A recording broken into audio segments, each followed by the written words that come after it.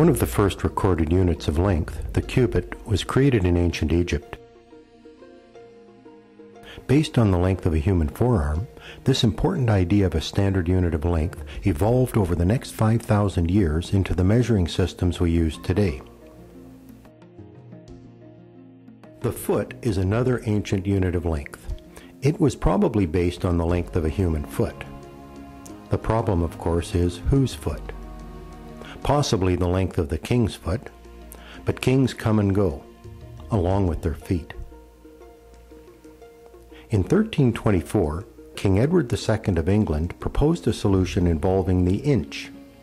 The inch represents one twelfth of a foot and it had been defined as the average width of a man's thumb. This, of course, has the same problem as the foot. Whose thumbs are we using? Barley was a common grain grown in England. A single grain of barley is called a barleycorn. King Edward created a statute that legally defined the inch as three barleycorns, dry and round, placed end to end lengthwise.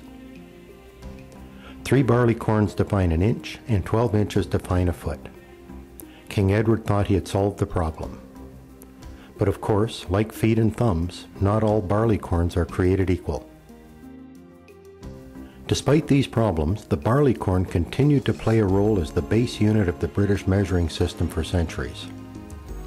Confusion about the inch continued until 1959, when the international community officially defined the inch as decimal 0254 of a meter. Which of course creates another problem. How do we define a meter? The story of the meter begins in 18th century France. The French faced the same dilemma as everyone else, finding an acceptable base unit of length a committee of academics was created to solve this problem. In April of 1790, Talleyrand, the Bishop of Autun, made a remarkable proposal to the Assembly of French Weights and Measures. Talleyrand proposed that a unit of length, called the meter, could be based on time. He had been studying pendulums and knew that the period of a pendulum, that is, its rate of swing, was determined by length.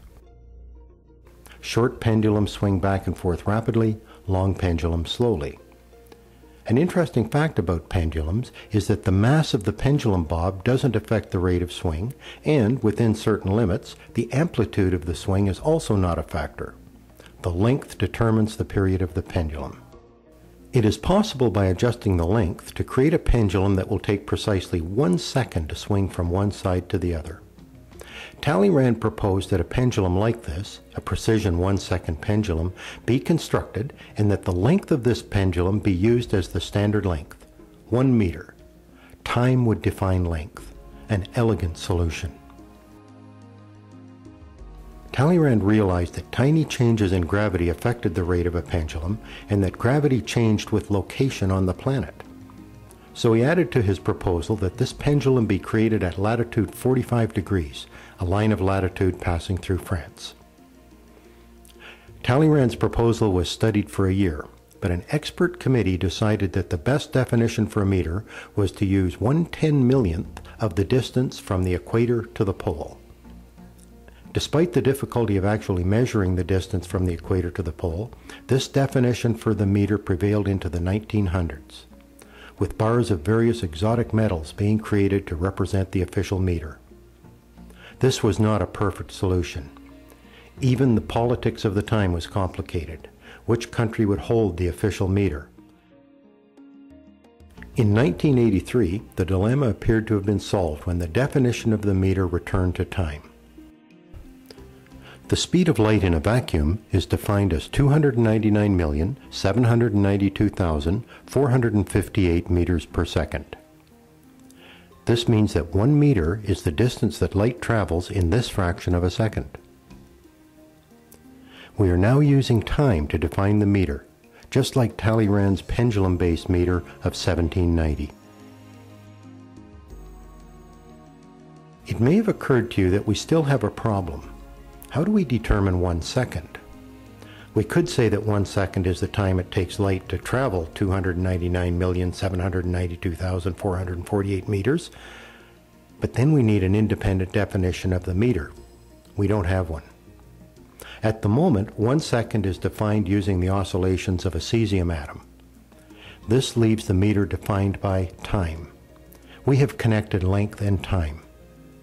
Perhaps this simple idea of defining length using time led Einstein to the revelation that time and space are linked. You may want to create Talleyrand's pendulum of 1790 and prove for yourself that a 1 meter pendulum creates a 1 second swing. A simple way to do this is to create a pendulum with a length of 1 meter and measure its period with a watch. Changing the length of the pendulum changes its period. As I mentioned earlier, the mass of the bob isn't important. The amplitude of the swing is also not a significant factor as long as it does not exceed 15 degrees. The length of the pendulum determines the period. Length is the distance from the pivot to the center of gravity of the bob. In the case of a spherical bob, the center of gravity is the center of the sphere. The formula describing the motion of a pendulum is time equals 2 pi times the square root of length divided by g. g is acceleration due to gravity. This value varies with location, but 9.8 meters per second squared is an average value that can be used in the formula. Length must be in meters and time in seconds. If you solve this equation for a 1 meter pendulum, you will get an answer of 2 seconds for time. This is because it calculates the time for a complete oscillation of the pendulum, the actual period of an oscillating object.